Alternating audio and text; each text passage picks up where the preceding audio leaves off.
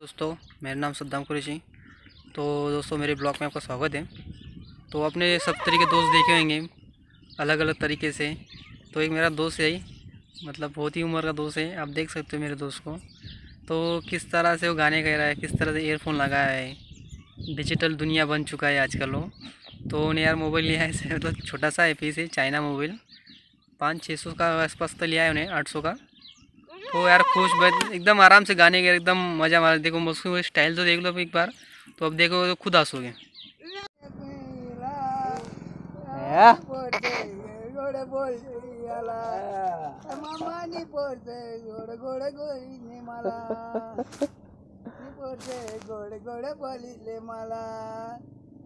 ये। हो रही बात साली।